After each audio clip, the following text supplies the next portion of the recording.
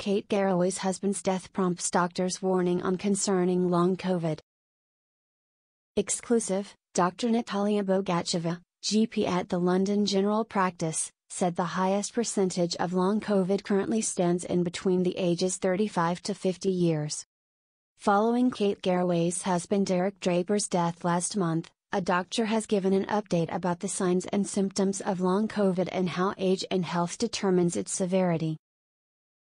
Those still suffering from the multi-system condition can have a wide range of symptoms that can last weeks, months, or even years after infection. Author Michael Rosen, who shared the same ICU as Kate Garraway's husband in 2020, recently told Express. Co.uk that he was still experiencing long lasting damage such as little sight in his left eye, a lack of hearing in his left ear, as well as barely having any feeling left in his toes after catching COVID in 2020. At the time of being hospitalized, he was placed into a coma and told he had a 50 50 chance of waking up. After pulling through his health ordeal, he was then faced with the challenge of having to learn to walk again. While Michael counts himself as one of the lucky ones, Derek sadly didn't have the same outcome and died last month after suffering from a cardiac arrest following a three year health battle. Talk TV presenter Piers Morgan was also left experiencing health issues months after contracting COVID and in 2022, called for more research to be done on the unpleasant side effects such as loss of senses and bad fatigue. Now, Dr. Natalia Bogacheva, GP at the London General Practice, has said the highest percentage of long COVID currently stands in between the ages 35 to 50 years. She shared, Long COVID is a multi-system condition comprising of a wide range of symptoms that follow an acute infection with SARS-CoV-2 virus. Although most people fully recover from the infection, around 10% of infected individuals will go on to have long COVID.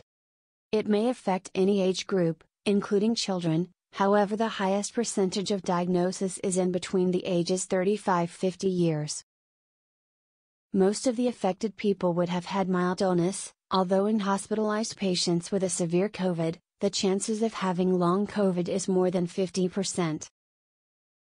Long COVID can also occur in people who have been vaccinated and catch COVID afterwards. Dr. Bogacheva went on to state that the current estimate of the number of people suffering from long COVID stands at more than 65 million people worldwide. The most common symptoms of long COVID include a persistent cough, breathlessness, chest pains, fatigue and palpitations, brain fog, memory loss, and various abdominal symptoms such as nausea and IBS type symptoms. Less common symptoms and conditions include diabetes, development of autoimmune disorders, hearing loss, and erectile dysfunction. According to the doctor, it is also observed that long COVID increases risks of cardiac arrest, death, heart failure, and strokes. Children and adolescents are more likely to develop chronic fatigue syndrome, headaches, and suffer with sleep disorders. For those in the 65 and over category, the doctor warns that those still suffering is certainly more concerning as they are at greater risk of persistent long COVID symptoms. She shared, there are few identifiable risk factors that may predict who is more likely to develop long COVID, and they include female sex, diabetic patients or people with known connective tissues disorders, ADHD, chronic urticaria, and with a history of allergic rhinitis, However, one third of people with long COVID have no identified pre existing conditions. Interestingly, it was also shown that inadequate rest following the infection may also predispose in developing long COVID. It is certainly also more concerning in patients who are older than 65 years who are at a greater risk of persistent long COVID symptoms. They are also more likely to have multi organ damage than younger people, with kidney, lung, heart and the brain suffering the most insults. The other factors that have been implicated in both development and persistence of long COVID are smoking, high BMI, and a history of anxiety and depression.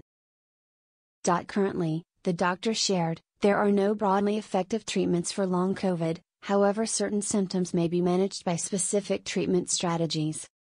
Giving examples, she listed that with lung related symptoms, a chest physiotherapy may be helpful, whereas for fatigue, a CBT therapy may offer some benefit.